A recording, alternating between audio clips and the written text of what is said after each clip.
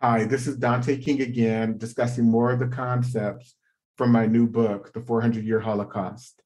So did you know that Orson Fowler and Samuel Wells became known as the doctors um, who were like the experts in good character, how to read good character. Um, they were recognized, widely known, recognized leaders in the phrenological and physiological and hygienic sciences. For half, uh, and for half of a century, they were the main educators in these branches of study. So uh, Orson Fowler went to University of Massachusetts at Amherst. Um, they published these uh, pamphlets, if you will, these journals on how to read good character.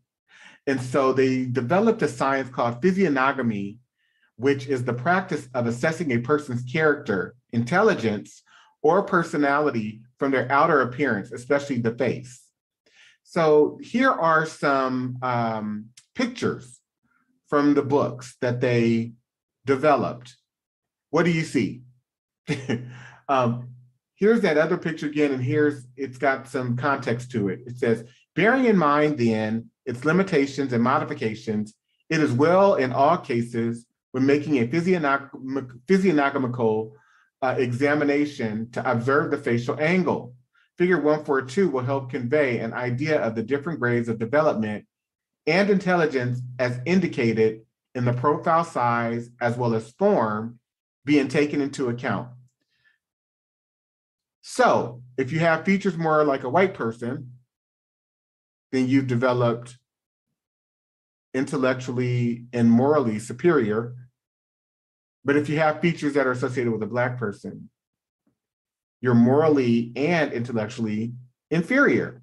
So these um, concepts in this particular science, along with the science of eugenics, uh, begins to inform criminal descriptions. So you can see here in the early 20th century, that of the Negroid sane criminals and Negroid civil insane.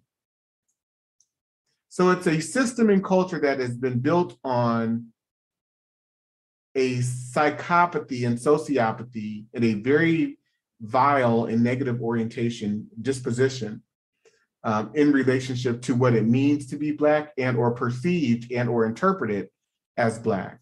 Please share a comment below about this video. You can also go to danteking.com to get the book. Thank you.